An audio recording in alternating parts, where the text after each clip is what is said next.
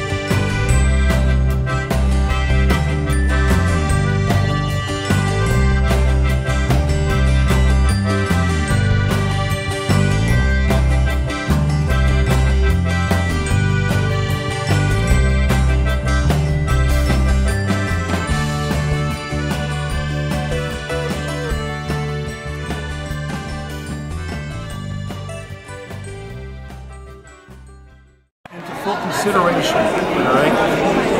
It all makes sense. Now you see the front of that beak, how straight it is? Well, I'm, I'm zeroing in on areas of importance. Now, my next importance area is the pattern right here. So we need to take some wood out of there. Okay?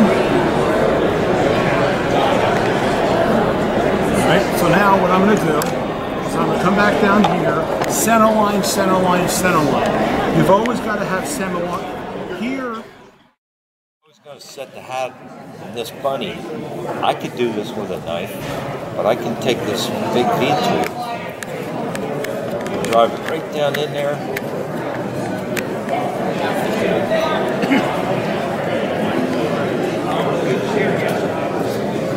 And I could have this hat separated in no time. That's a 30 degree. Yes. Now, if you're familiar with the Pfeil tools, as far as I know, Pfeil and, and Flexcut are the only ones that make the 30 degree. Um, I use the Pfeil. Now, you can use a knife, preferably one of my signature knives. I'm kidding. I really.